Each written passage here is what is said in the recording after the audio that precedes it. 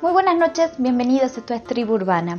Hoy más que nunca este programa te va a mostrar las dos caras de la justicia.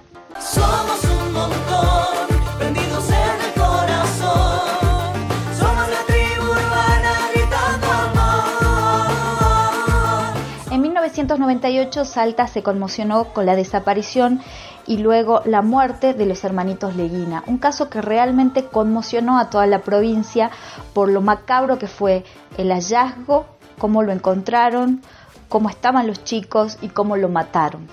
El asesino, uno de los asesinos, eh, luego de un tiempo de estar en Villa Las Rosas, se escapó. Fue el otro hecho para nuestra provincia que fue un antes y un después.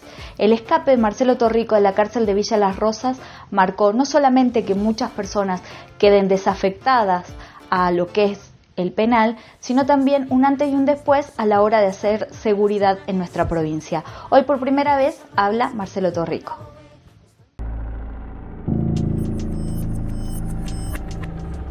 Soy Marcelo Alejandro Torrico y presto conformidad a la entrevista. Sí, estoy por un delito de homicidio calificado a la pena de, en su momento de reclusión perpetua que se modificó en el año 2010 y 2011. ¿Por qué se modificó? Eh, porque estaba condenado mal. Eh, yo estaba con reclusión perpetua y artículo 52, que era esa ley estaba derogada allá en Buenos Aires, entonces recurrí a las instancias de Buenos Aires para, para apelar. apelar y las instancias dieron favorables en 2010 y 2011, lo cual significa que estoy a la pena de prisión perpetua a la pena de 25 años. De ese caso, ¿Se arrepintió? Por supuesto. ¿Pagó la pena? ¿Siente que la está pagando? Eh, no hay un día que no me arrepienta de lo que hice. Ni un día. O sea, estoy pagando la condena como corresponde, pero mi deuda con la sociedad la estoy pagando. Pero usted siente que, eh, sobre todo pensando en la familia de las víctimas, que a ellos les basta con que usted esté acá preso? Yo le diría que le pediría disculpas a la familia. ¿Quiere aprovechar? Sí, pedirles disculpas a la familia, sobre todo a la, madre de los chicos, al resto familiar, no hacia Leguina, ya que Leguina estuvo en el hecho, que eso se lo podrían preguntar al interno Brandán, porque yo no puedo darle esa respuesta, la tiene el interno Brandán. ¿Brandán tiene otros beneficios que usted no tiene? Eh, yo no gozo de beneficios, como dicen. Yo vivo solo, por pedido mío, que lo pide cualquier interno de vivir solo, tiene su derecho de hacer una nota y se aísla por seguridad. Usted tiene defensor público. Exactamente, y tanto se lo puede pedir al juzgado o como uno acá en el servicio ni bien ingresa, hace una nota y se aísla por seguridad. O sea, yo vivo aislado por seguridad, no, no vivo con privilegios como se dice. ¿Y la seguridad es por qué? ¿Qué pasaría si usted entra a un pabellón común? Y voy a tener incidentes puedo ser lastimado, puedo ser golpeado, entonces para evitar algún Para el que no conoce de códigos carcelarios, ¿por qué, ¿por qué, usted podría ser lastimado en otro pabellón? Eh, ha pasado muchos casos, muchos casos que han salido gente lastimada, golpeada. Por la causa. Exactamente, por el delito que te juzgan adentro, entonces, para evitar pelear o algún incidente, directamente decidí por mi voluntad propia aislarme lo cual no significa que yo sea un preso VIP, no lo soy. Vivo solo, nada más. Tengo mi televisor, un DVD, y un grabador, que es lo que tiene todo el internado. No claro, eso se permite en un pabellón. Exacto. La diferencia es que usted tiene un pabellón para usted solo, digamos. Sí, un pabellón chico, como, como está al lado mío el interno LASI, exactamente igual. Eh, el interno Gaspar 5, que también está aislado por seguridad, igual, en los mismos lugares así. Usted me, dijo que no es un preso VIP. Sin embargo, eh, usted es consciente que cuando usted se escapó, todos lo trataron de que había sido un preso VIP. Eh, sí, en ese momento yo, lo que es el tema de la fuga, yo estaba en ese momento condenado con la reclusión perpetua de por vida. ¿Y cómo se escapó? Es verdad, la leyenda popular dice que se le pagó a mucha gente, tanto dinero tenía usted, maneja, manejaba. Sí, sí, sí, no voy a mentir de eso, sí, se pagó y... A gente de acá adentro. Sí. Después fui asuelto por la justicia al demostrarse que no había violentado ningún candado, ni roto, ni lastimado a ¿Cómo salió? caminando por la puerta. ¿Por qué puerta? Por la puerta, las industriales. ¿Era año nuevo? Exacto. ¿Me puede graficar la situación? Porque me resulta eh, un poco fuerte lo que usted me está contando. Sí, este, se me dejaron todas las puertas abiertas y salí caminando y me fui. Siempre se habló de que usted tiene gente que lo protege afuera de la penitenciaría.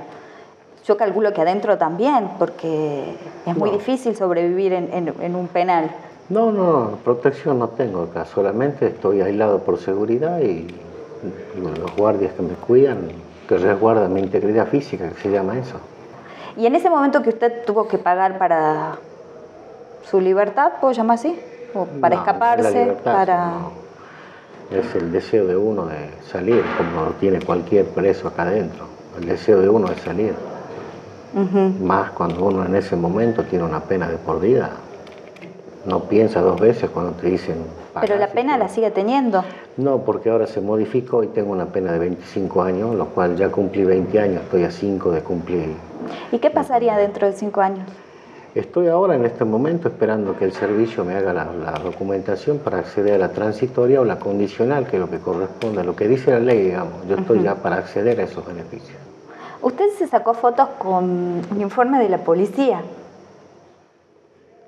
Ah, con uniforme, sí. ¿Me cuenta de esa historia? Sí, sí. Eso fue como una especie de broma. Por tanto, esperar y esperar beneficios que no llegaban, bueno. ¿Y por qué cree que no le dan los beneficios?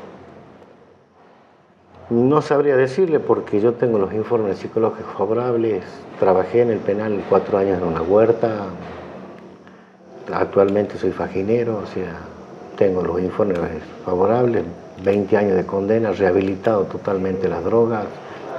Jamás hice un hecho de violencia, tanto pegarle a un personal, a un interno o a alguien. No tengo ningún castigo de esa forma. Hablando de la fuga, ¿y usted por- cómo lo encontraron? Eh, en la estación de retiro de colectivos. Y ahí lo reconoció la policía. No, no, no, me pararon para pedir antecedentes y O sea que no es que lo encontraron robando un celular. No, no, no. Después se dijo que rompió la vidriera y todo, pero no, no. Nunca, nunca rompí vidriera, nada. Esperaba un colectivo nada más. ¿Y usted estaba al tanto de la búsqueda que había aquí en sí, Salta? sí, sí, sí, sí. Ajá. O sea que alguien lo ayudó después, algún familiar, alguien estuvo Eh, atento a la situación. No, no, tenía dinero para los hospedajes, para todo. Torre, ¿de dónde saca tanto dinero? Si usted es un preso. Tengo 20 propiedades. Hay una leyenda popular que dice que usted tiene un, un tío en Bolivia. Exacto. ¿A qué se dedica su tío, seré curiosa? Eh, tiene dos fábricas de plástico. O sea que descarto la idea de que su tío trabaja con el narcotráfico. Siempre se relaciona ese mito con decir que era un narcotraficante, no, él tiene dos empresas de plástico con 600 empleados en cada una. Ajá. ¿Y su tío reaccionó bien cuando se enteró de por qué usted cayó preso la primera vez? Eh, se molestó, sí, por supuesto, se enojó. No le gustó lo que había hecho. Lo que Y a pasó. pesar de eso lo ayuda. Pa- no, un tiempo no, no, no tuvimos comunicación porque se molestó mucho por lo que había hecho hasta que bueno, yo le expliqué. ¿Qué edad tenía ahí usted? 26 años, era un joven. Se me ocurre preguntarle por el tema de que también se hizo todo un mito de que desde el Estado, gente del gobierno lo ayuda a salir. ¿Cuánto de verdad había en eso? ¿En la fuga, me dice usted? Sí. No, no, eh, na- ninguna ayuda de ningún, o de- del gobierno, digamos, no había ninguna ayuda. ¿Quién era gobernador en ese momento? Romero. Exactamente, pero no, no había ayuda de nadie. ¿Y el contacto de algún familiar? Eh, tengo familia que está eh, cerca al gobierno, pero no tengo contacto con ellos. Nunca me vinieron a visitar, no. En su momento vivía en el pabellón de máxima seguridad, eh, ese sí era máxima seguridad, cuando ingresé a la cárcel y bueno, tuve la oportunidad. ¿A quién tenía de vecinos ahí? Eh, el matrimonio Ureña. Es extraño que un matrimonio viva. Bueno, eso eran ya algo político, no sé quién, pero bueno. Alguien ordenó que el matrimonio viva junto, eso nunca se supo quién fue y dio la orden. Pero bueno, Calculo que un juez. más arriba.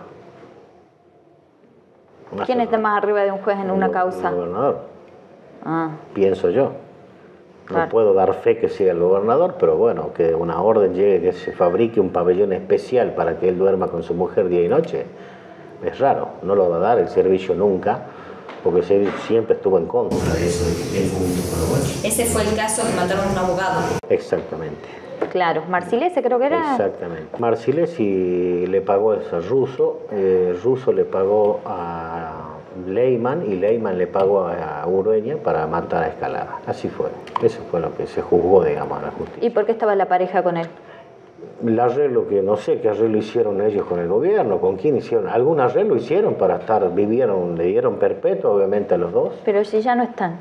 Y recuperó la libertad la señora Nunciarelli, con, está gozando los beneficios con, como corresponde, como dice la ley, y Orgueña se lo fue juzgado en Tucumán. Cada vez entiendo menos lo que es cadena perpetua, disculpe. Eh, le explico, el Código Penal dice prisión perpetua son 25 años, del año 98 que yo fui condenado, lo cual significa que yo a los 12 años y medio puedo gozar del extramuro. A los 14 años ya puedo ir a la granja y dentro de los 15 años más o menos puedo salir con las transitorias yo confío en la justicia y la justicia dice que debo gozar de esos beneficios, estoy pasado ya de 20 años, o sea que debería estar gozando de esos beneficios. o sea, yo pido lo que dice la ley, confío en la justicia. O sea, lo que antes no hacía, obviamente, no confiaba en la justicia porque era un delincuente antes de entrar acá, obviamente. Le agradezco la entrevista. Este, si se quedó con ganas de decir algo. Por mí está bien, pero no, sé si quiere. Más que todo, como le digo, decirle a la sociedad que se me perdone, que se me dé una oportunidad. Que por favor sepan entender que en su momento era, cuando pasó el hecho, era un joven drogadicto, enfermo, que ahora no lo soy. Que se me dé una oportunidad de poder salir y rehacer mi vida con mi familia, nada más. Es lo único que deseo. Le agradezco por la nota. Muchas gracias.